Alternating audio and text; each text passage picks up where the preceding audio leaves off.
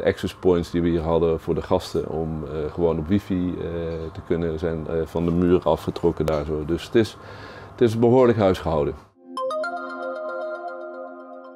Bij wijndomein Doddendaal bij Ewijk is vorige week ingebroken. Eigenaar Jan Willem het Hoofd heeft daarom besloten dat de wijngaard dit jaar niet meer open gaat.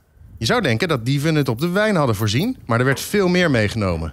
Pinapparatuur, betaalsystemen, kassensystemen, versterkers, boxen, eh, Berkel snijmachine, zelfs de, de routers eh, zijn van de muur afgehaald. Eh, de access points die we hier hadden voor de gasten om eh, gewoon op wifi eh, te kunnen zijn eh, van de muur afgetrokken daar zo. Dus het is, het is behoorlijk huisgehouden.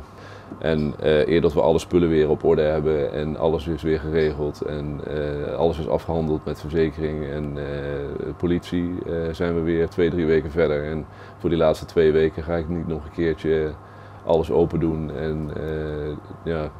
Het zure aan dit verhaal is dat de spullen waarschijnlijk met een aanhangwagen van het wijndomein zelf zijn vervoerd. We hebben achter op het land, hierachter is nog een stuk land, waar we wat uh, aanhangwagens bewaren om spullen te vervoeren over het, uh, over het landgoed uh, van de ene plek naar de andere.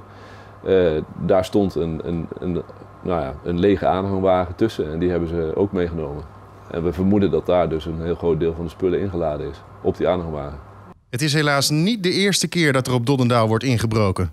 En het hoofd heeft hier al vaker bij de gemeente Beuningen over geklaagd. Hij biedt immers met zijn landgoed het recht van overpad aan de vele wandelroutes in de buurt.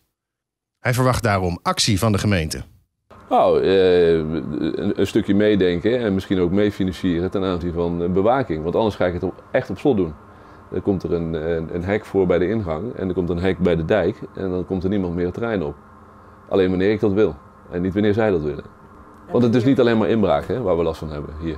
Niet zozeer vandalisme, maar drugsgebruik, eh, jongeren die hier eh, drugs komen gebruiken op het terrein. Eh, er wordt gedeeld eh, s'avonds.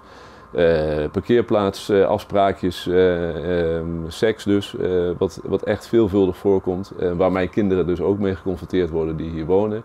Het hoofd heeft inmiddels met wethouder Driessen gepraat om de problemen van het open land goed aan te kaarten. Ze hebben het, het, het, belang ook nu ingezien ten aanzien van het behoud. Dus ook de toegankelijkheid voor, voor medebewoners.